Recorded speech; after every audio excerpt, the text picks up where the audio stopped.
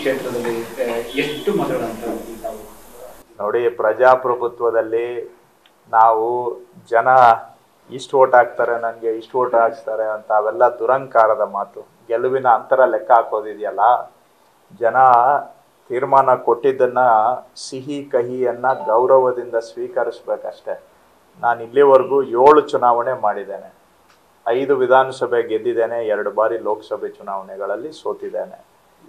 ಗೆಲ್ಸಿದಾಗ, ಸೋತಾಗ ಒಂದು ಗೌರವದಿಂದ ಜನಗಳ ತೀರ್ಮಾನವನ್ನು ಸ್ವೀಕಾರ ಮಾಡಬೇಕು ಬಿಟ್ಟರೆ ಏನು ಜನ ನನ್ನ ಜೋಬಲ್ಲಿ ಇದಾರೆ? ಐವತ್ತು ಸಾವಿರ ಹೋಟೆಲ್ ಗೆಲ್ತೀನಿ, ಇಪ್ಪತ್ತೈದು ಸಾವಿರ ಹೋಟೆಲ್ ಗೆಲ್ತೀನಿ ಅಂತ ಹೇಳಕ್ಕೆ ಅದು ಎಲ್ಲೋ ಒಂದು ಕಡೆ ಪ್ರಜಾಪ್ರಭುತ್ವಕ್ಕೆ ವಿರುದ್ಧವಾಗಿರ್ತಕ್ಕಂಥ ಮನಸ್ಥಿತಿ ಮೈಂಡ್ಸೆಟ್ ಇದೆಯಲ್ಲ ಆ ಥರ ಇಷ್ಟು ಓಟು, ಅಷ್ಟು ಓಟು ಅಂತ ಲೆಕ್ಕ ಹಾಕೋದು it is anti democratic and arrogant ಅದು.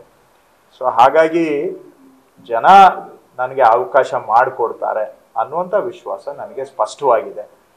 ಎಷ್ಟು ಅಂತರ ಗಿಂತರ ಅದು ಜನಗಳ ತೀರ್ಮಾನ.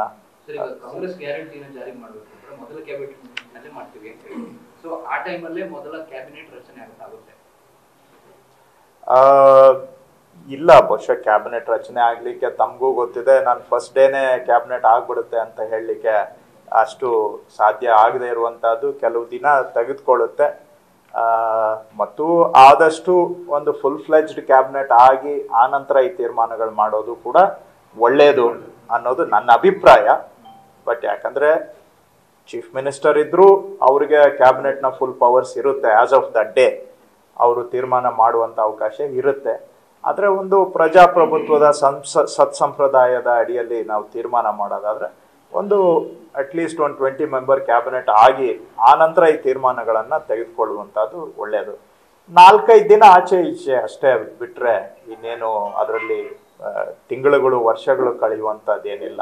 So matter of four five ಡೇಸಲ್ಲಿ ಅಟ್ಲೀಸ್ಟ್ ಹಾಫ್ ಕ್ಯಾಬಿನೆಟ್ ಅಂತೂ ಫಾರ್ಮೇಷನ್ ಆಗೇ ಆಗುತ್ತೆ if not the almost the full cabinet so ನಾಲ್ಕೈದು ದಿನ ಬಹುಶಃ ಕಾದು ಮಾಡುವಂಥದ್ದು ಒಳ್ಳೆಯದು. ನ್ಯೂಸ್ ಫಸ್ಟ್ ಪ್ರತಿಕ್ಷಣ